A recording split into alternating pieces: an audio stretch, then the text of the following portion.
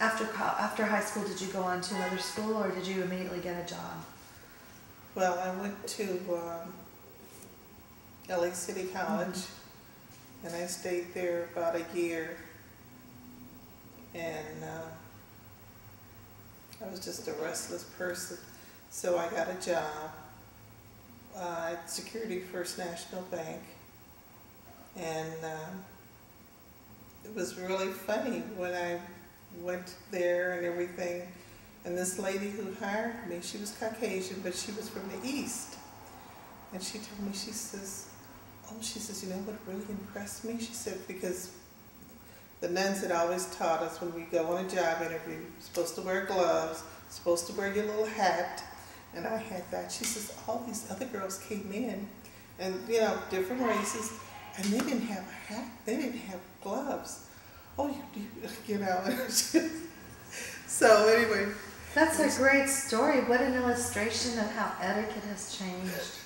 So I was working at Security First National Bank on Third and Spring, I think, or Third and Market. It's no longer there, and um, it was really funny when I came in the door.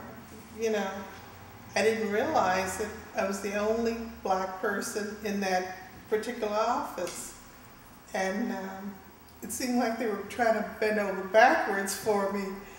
And I didn't realize that. And then I was talking to someone, and he says, "Don't you realize they're trying to, you know, make you feel at home?" I says, "No, I didn't."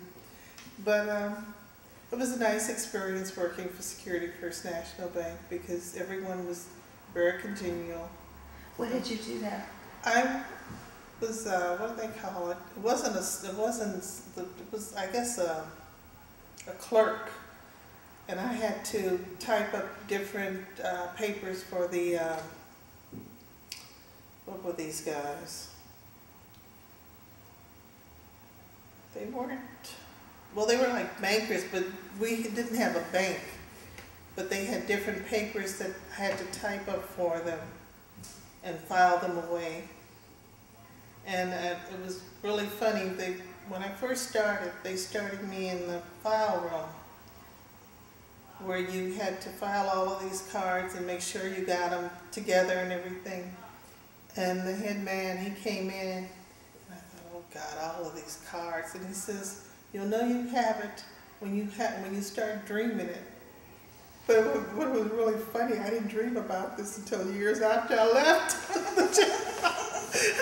so I said, oh. I got it now.